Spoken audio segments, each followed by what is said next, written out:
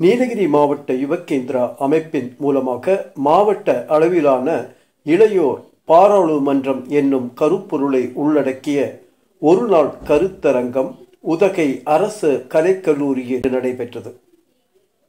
சர்வதேச சிறுதானிய ஆண்டு ஆரோக்கியமான வாழ்வியல் ஜி டுவெண்டி என்னும் தலைப்பிலும் உரை நிகழ்த்தப்பட்டது.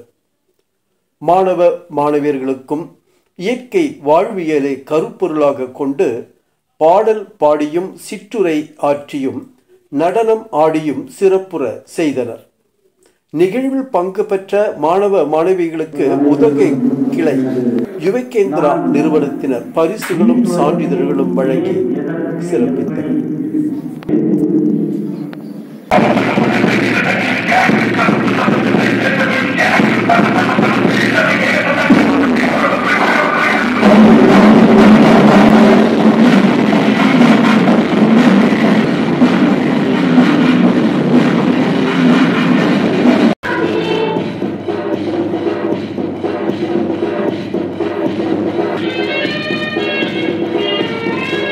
ಿ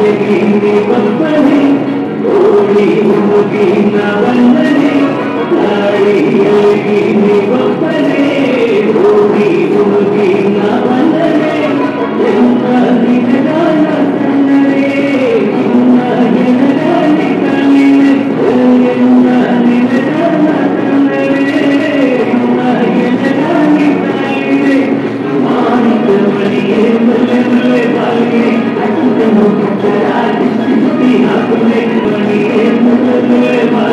you.